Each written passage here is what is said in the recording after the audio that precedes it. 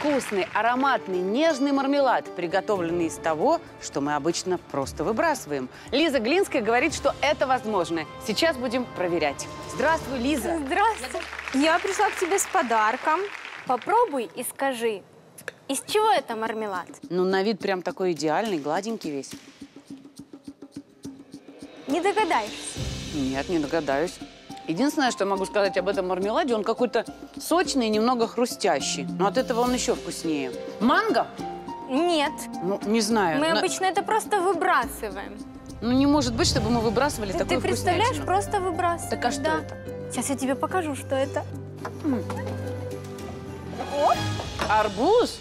Да, это мармелад из арбузных корочек. Из арбузных корок, ничего себе. Так а он не зеленый же. Так он вываривался в сиропе, он и не будет зеленым. Значит, давай быстренько нас научи, чтобы мы убедились, что это возможно. А потом все вместе попробуем, правда?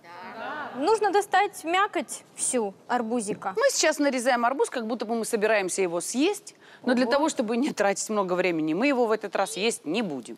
Если вдруг попался толстошкурый арбуз, А.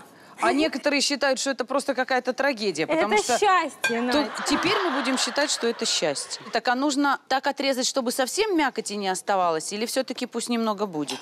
Э, Красненького вот этого, оно нам не понадобится. Слушай, откуда ты узнала, что можно из арбузных корок приготовить мармелад? Знаешь, у меня когда-то готовила такой мармелад бабушка, потом тетя, а потом как-то этот э, мармелад э, затерялся рецепт. Не знаю, как-то все перестали, забыли, что ли. И пару лет назад я в Испании попробовала что-то похожее, спросила, это арбуз? Да, это То арбузные есть ты разгадала корочки. сразу, да? Он просто очень, ну, похож был на то, что я ела когда-то в детстве. И я у тети выведала, опять же, рецепт этого мармелада. И несколько лет делала его. Знаешь, очень удобно ходить в гости там, где есть маленькие дети. Да и так просто к подруге прийти с баночкой такого мармелада. Тем более получается, что это бесплатный мармелад. Ну, арбуз-то Да. мы покупаем ради мякоти, Да. ради сочной мякоти. Такой мармелад, он очень долго хранится, а если оставить его в сиропе, не вот в таком варианте, как я принесла, он уже в сахаре, а если оставить его в сиропе, можно и в баночке закатывать как варенье. Ты знаешь, из-за целого арбуза получается около килограмма мармеладинок. А для того, чтобы арбузные корочки стали немного мягче, нужно э, на килограмм корочек понадобится одна чайная ложка соды, залить это все водой и оставить на 4-6 часов. Вот я добавлю, у меня тут, наверное, полкило корочек. На литр воды нужна чайная ложка соды. Просто холодной водичкой заливаем. Ну, есть же готовые уже. Ну, конечно, мы не будем с тобой ждать. Есть же уже, конечно, готовые. А эти останутся. Я потом из них Эти обязательно останутся? приготовлю. Да. Э, их нужно обязательно промыть холодной водой. Вот, готовые. На вид они, в принципе, такие же, да? Как на вид были, они, в принципе, такие же, но на самом деле сода сделала свое Своё дело. Сливаем воду кастрюльку. На килограмм арбузных корочек Так. понадобится кило 200 сахара. Начинается. А вообще, да, это же мармелад, он же без сахара Это же мармелад, да, кило 200 сахара. Но мы весь его сразу использовать не будем, будем в два приема. Килограмм корочек нужно залить водичкой, чтобы она покрыла. На килограмм добавляем 600 граммов сахара. Вторую часть мы добавим позже. Даем закипеть, варим 20 минут. Потом отставляем на 5-6 часов. То есть обычно это мама, мама у меня всегда утром ставит, вечером продолжается все это. Вечером та же самая процедура. На 20 минут поставила, закипела, 20 минут проварила, опять оставила э, на ночь. И так и три- неделю? три раза. Ты знаешь, иногда было такое, что и так мама ставит, папа ставит, а закрыть кто закроет? Ну сейчас давай еще раз поставишь и завтра, уже вечером. И вот так вот, да. Ну, вообще это делается три раза, а третий раз мы добавим остальную часть сахара, сок половинки лимона, кардамон Мгм. и ванильный сахар. Вот это вот проваривание с отставлением мы делаем для того, чтобы он все-таки сохранил свою форму, был он твердый. сохранит свою структуру, да, форму, но в то же время он прям пропитается вот этим сиропом.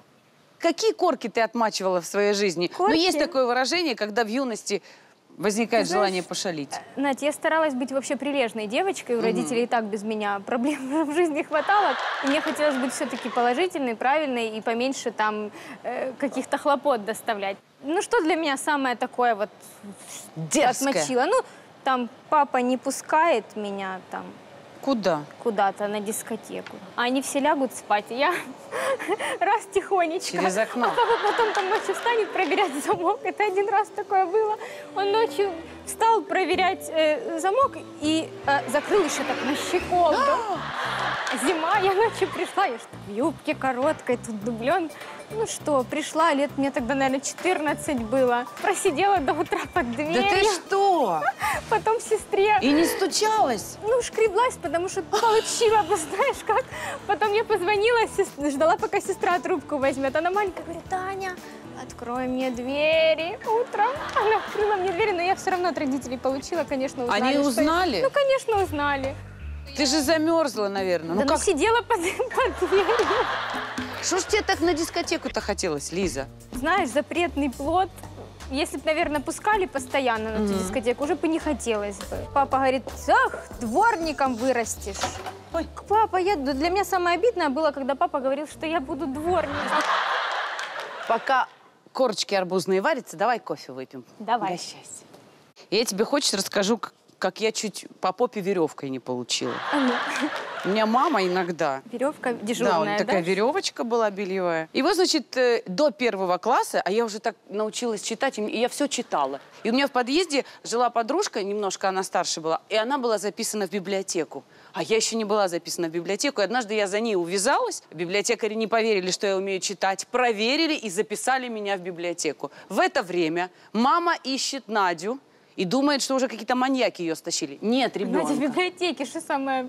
Что самое грустное? Самое грустное. Я прихожу из библиотеки, как сейчас помню, такая красочная книжка стихов Самуила Яковлевича Маршака, воздушные шарики на обложке. Где ты была? Мама уже с веревкой, я бы получила, но в это время очень удачно приехала родня из Чернигова, и было неудобно. А ты представляешь, у меня такая ситуация была. а, Мама привезла мне ранец. Знаешь, ранцы обычно застегивались вот так вот этими железными такими, Мгм. тёп, захлебывались. Да-да. А тут вот такие трезубец такой, который вставлялся. Модные, как сейчас. Боже, и я, ну, Ты меня сломала. за тройки... Да нет, не я сломала, мама ма- попу сломала. И она хлыстнула меня этим рюкзаком и сломала мне этот трезубец. Ты Так понимаешь? за что? И я- Подожди, подожди, за Я что? какое-то задание там же, наверное, не сделала. Помни о тройке, дочка. Еще раз напомню, когда мы третий раз уже ставим корочки вариться, добавляем оставшиеся 600 граммов сахара, сок половинки лимона и кардамон. Мгм. У меня уже, конечно, есть готовые корочки. Слушайте, как это чудесно. Я вот сейчас прониклась прямо уважением к арбузу, потому что мы уже научились и суп арбузный в самом арбузе подавать, и правильно арбузы выбирать. Но у нас просто какое-то арбузное счастье, а теперь еще и мармелад. Показывай. Да? Смотри. Они доварились до такого состояния, только я слила с них сироп.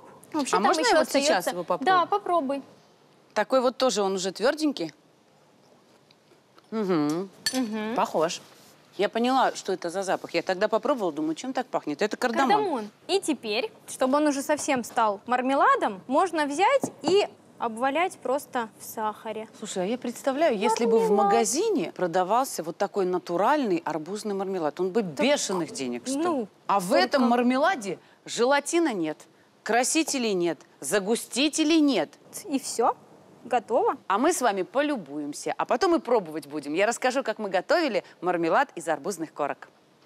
Для приготовления арбузного мармелада вам понадобятся арбузные корки, сахар, вода, лимон, ваниль, кардамон и сода. Арбузные корки аккуратно очистить и нарезать на кусочки.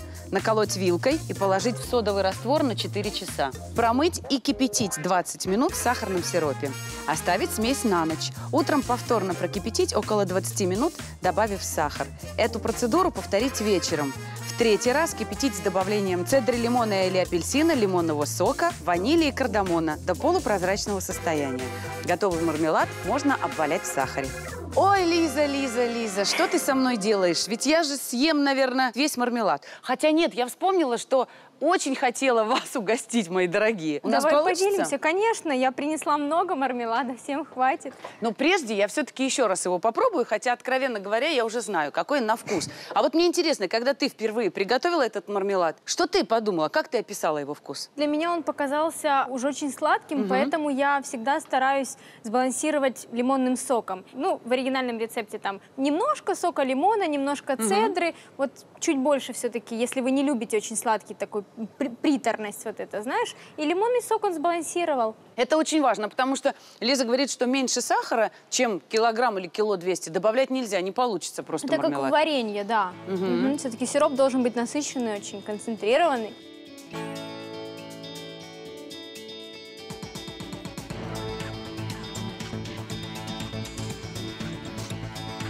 Ну как вам мармелад?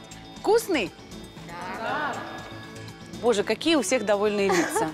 Знаешь, это не просто потому, что Приятно. сладкое, это еще и от удовольствия. Мы осознали, что можно практически, не затратив дополнительных средств, приготовить мармелад, который несколько раз лучше магазинного, я вам точно говорю. Так что пользуйтесь на здоровье. Лиза, ты наше сокровище. Спасибо. Привет, YouTube! Тебе понравилось это видео? Тогда оставляй комментарий и делись им со своими друзьями. А еще подписывайся на наш канал, и ты узнаешь обо всем первым.